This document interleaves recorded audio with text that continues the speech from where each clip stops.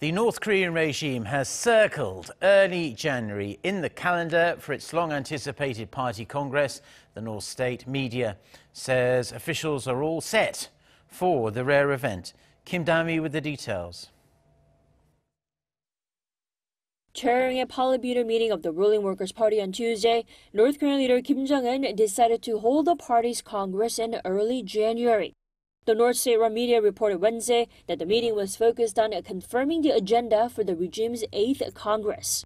No specific dates were announced, but a watch is expected to take place sometime between January 4th and the 7th, considering a large number of Congress attendees will pay tribute at the Kumsusan Palace at the start of the new year.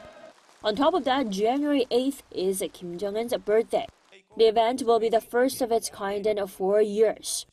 It's expected to cover a range of matters, including a five-year economic development plan and new policy lines toward Seoul and Washington amid frozen denuclearization talks. There may possibly be a message for the incoming Biden administration.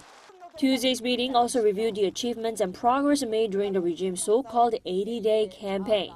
In October, Kim launched a two-month-long project to achieve national and economic goals ahead of the January Congress.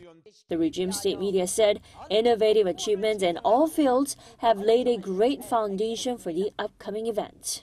Kim Dami, Arirang News.